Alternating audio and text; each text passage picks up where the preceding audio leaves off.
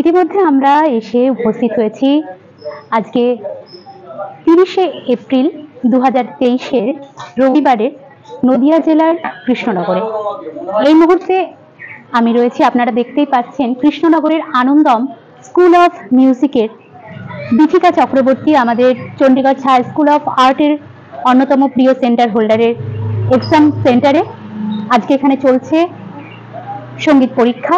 আর চলুন আমরা দেখে নিই এই পরীক্ষা কীভাবে নেওয়া হয় বা তার পরিবেশ সম্পর্কে।